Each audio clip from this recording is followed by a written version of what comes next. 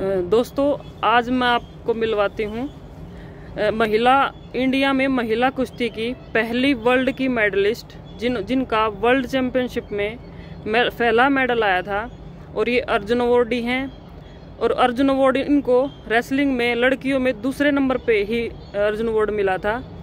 तो आप देख सकते हैं कितना महानुभाव खिलाड़ी हैं, बहुत पुराने खिलाड़ी हैं, और आज हम आपसे इन, इनका एक्सपीरियंस शेयर करते हैं। कि आपने कुश्ती का जानकारी कैसे लेंगे इनसे। सबसे पहले मैम आपका स्वागत हमारे चैनल पर। और हम आपसे ये क्वेश्चन पूछना चाहेंगे कि जब आपने कुश्ती की स्टार्टिंग की थी उस टाइम पे लड़कियों को कुश्ती में कहाँ देखते थे? क्योंकि स्टा बिल्कुल स्टार्टिंग हुई थी इंडिया में उस टाइम जब आपने शुरू किया था और खासकर यूपी में। तो कहाँ लड़कियों को कैसे देखते थे उस किस नज़रिए से देखते थे पहलवानों को उस टाइम सोनिया मैं पहले अपना परिचय एक बार और दे दूँ। मैं अलका तोमर अर्जुनवाड़ी रेसलर और देश की पहली महिला रेसलर हूँ जिसने वर्ल्ड चैम्पियनशिप में ब्राउन्स मेडल लिया। 2006 में ये मेरे मैंने मेडल लिया था और 2006 में ही मेरा एशियन गेम्स में मेडल था। तो उसी बेस पे मुझे 2008 में अर्जुन अवार्ड दिया गया था।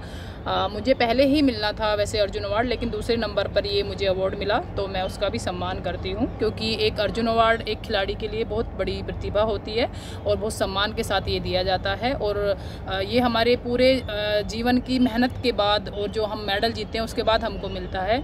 और जैसे कि आपने बात की कि नाइन्टी एट में मैंने रेसलिंग स्टार्ट की थी उस टाइम पे माहौल बहुत ही अलग था। ये गे, इस गेम को पुरुषों का खेल माना गया है स्टार्टिंग से। तो उस 98 की मैं बात कर रही हूँ पंद्रह सोलह साल पहले मैं आपको पीछे ले जा रही हूँ।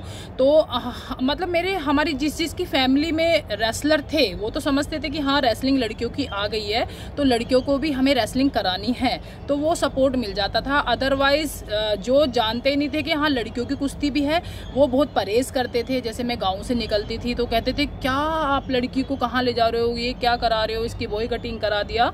तो इस तरह से काफ़ी सवाल उठते थे लेकिन आ, मेरी फैमिली का सपोर्ट था मुझे इसी वजह से मैं आगे निकल पाई। और उत्तर प्रदेश की बात करें तो दूर दूर तक मुझे कोई लड़की नहीं दिखती थी रेसलिंग में। और जैसे ही टीम बनती थी तो दूसरे गेम की लड़कियों को हमें पकड़ के लाना पड़ता था, या तो जूडो की होती थी, एथलेटिक्स की लड़कियाँ होती थी उनको पकड़ के लाते थे, तब हम पूरी टीम अपनी बनाते थे और इस तरह से हम नेशनल वगैरह में टीम ले जाते थे। फिर धीरे धीरे टाइम बीतता गया लोगों को जानकारी मिलती गई हाँ भाई, रेसलिंग लड़कियों में भी शुरू हो गया, एक अच्छी शुरुआत हुई है, उसको काफ़ी अच्छे लेवल पे जानते हैं आज के टाइम में लड़कियों की कुश्तियों को तो फिर धीरे धीरे सबने आना शुरू कर दिया था। मैम जैसा कि आपने हमें बताया कि पहले रेसलिंग का माहौल क्या था और जैसा कि आप आप भी जानते हैं कि इस टाइम ओलंपिक में मेडल इंडिया के बहुत कई मेडल आ गए हैं रेसलिंग में। तो उसके बाद, जब में और अब में आप अपने आसपास के माहौल में, आसपास के लोगों में, अपने एरिए में क्या माहौल चेंज देख रही हैं इस टाइम अभी? बहुत ज़्यादा माहौल चेंज हुआ है। 2006 में भी जब वर्ल्ड चैम्पियनशिप में मेडल आया था तो उस टाइम पे भी इतना अच्छा माहौल नहीं था। उस टाइम पे भी इतनी जानकारी नहीं थी लोग बागों को कि हाँ भाई, इस लड़की का मेडल आ गया। उस टाइम पे हम, किसी को नहीं पता लगता था, क्योंकि उस टाइम पे अवेयरनेस बहुत कम थी। उस टाइम पे मीडिया का सपोर्ट भी बहुत ज़्यादा कम था हमें। और तो आज के टाइम में और उस टाइम में तो बहुत ज़मीन आसमान का मैं तो कहूँगी फ़र्क है, क्योंकि आज फैसिलिटी इतनी ज़्यादा हो गई है। हम सबको इतनी सुविधाएँ मिल रही हैं ज़्यादा से ज़्यादा। और मुझे तो कई बार लगता है कि शायद मुझे उस टाइम पे ये सुविधाएँ मिल जाती तो शायद मेरा मेडल भी ओलंपिक में आता क्योंकि इस तरह की परफॉर्मेंस थी मेरी लेकिन मेरे को इंजरी वगैरह बहुत ज़्यादा होती थी तो नॉलेज नहीं थी और फैसिलिटी नहीं थी। तो उसी कारण से मुझे रेसलिंग छोड़नी पड़ी मेरे को सर्वाइकल हो गया था 2009 में। और उसी के बेसिस जब भी, भी मैं करती रही अपना थोड़ा बहुत ठीक करके 2010 में कॉमनवेल्थ गेम्स हुए उसमें गोल्ड मेडल मैंने लिया। और उसके बाद ओलंपिक की ट्रायल थी तो मेरा मतलब डॉक्टर ने तो मना ही कर था कि आप ट्रायल भी नहीं दे सकते हो, लेकिन एक कॉन्फिडेंस था प्रैक्टिस की हुई थी तो उसी के बेस पे मैंने ट्रायल भी दी थी। रिज़ल्ट तो अच्छा नहीं रहा था। बट यही कहना चाहूँगी कि आज के टाइम में बहुत ज़्यादा फैसिलिटी है, बहुत ज़्यादा सुविधाएँ हैं तो मैं यही कहना चाहूँगी कि ज़्यादा से ज़्यादा लड़कियाँ इस गेम में आएँ और अपना फ्यूचर इसमें बनाएँ और ओलंपिक से मेडल हमको और ज़्यादा ला कर दें। मैम, जैसा कि हमें पता है, आप यूपी गवर्नमेंट में बिजली विभाग में कार्यरत हैं और स्पोर्ट्स कोटे से आप भर्ती हुए थे। तो आप बिजली विभाग में कार्यरत रहते हुए भी आप रेसलिंग के लिए क्या काम कर रहे हैं अभी? आ, मैं पीसीएल जो बिजली विभाग है उसमें मैं स्पोर्ट ऑफिसर के पद पे कार्यरत कर रही हूँ। और मैं मेरठ में ही रह रही हूँ रेजिडेंस मेरा मेरठ में ही है। तो मेरे पास ही जहाँ पे मैंने प्रैक्टिस की थी सीसीएस यूनिवर्सिटी वो मेरे पास ही है।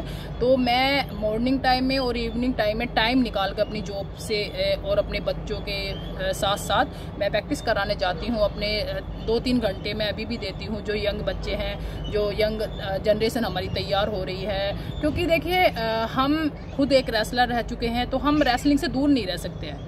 जो मेरा मानना है, आप भी रेसलर हैं तो मुझे लगता है कि हम सबको जुड़ा, जुड़ाव अच्छा लगता है रेसलिंग से, हम सबको उसके आसपास रहना अच्छा लगता है तो हम सब पहुँच ही जाते हैं किसी ना किसी बहाने से, या तो उन्हें प्रैक्टिस कराने के बहाने से, या हम चाहते हैं कि हमारी लड़कियाँ और आगे बढ़ें, वो अच्छे अच्छे मेडल लें तो इसी तरह से हम, मैं वहाँ पर जुड़ी हुई हूँ, और अपने ऑफ़िस में भी मैंने गेम वगैरह शुरू कराए थे।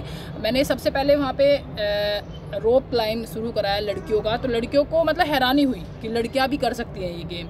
मैंने कहा, आपको पता ही नहीं है मैं क्या हूँ? उनको ये नहीं पता था कि मैं किस लेवल की खिलाड़ी हूँ। फिर उनको धीरे धीरे पता लगा तो वो लोग बहुत खुश होते हैं, बहुत प्राउड फील करते हैं कि आप हमारे डिपार्टमेंट में हैं। तो डिपार्टमेंट में भी मैंने अलग अलग गेम वगैरह शुरू कराए हैं। तो काफ़ी कुछ चेंज कराया मैंने डिपार्टमेंट में थैंक यू मैम आपसे मिलके बहुत अच्छा लगा और आपने जो इन्फॉर्मेशन हमारे साथ शेयर की लोगों तक पहुँचाने का काम करेंगे और लोगों को बहुत सारी जानकारी मिलेगी आपके बारे में कुश्ती के बारे में लड़कियों की कुश्ती के बारे में। दोस्तों आपको हमारा हमारी वीडियो अच्छी लगी हो तो हमारी वीडियो को लाइक करें और हमारे चैनल को सब्सक्राइब करें। सोनिया मोर रेसलिंग कोच के नाम से हमारा चैनल है। Thank you Sonia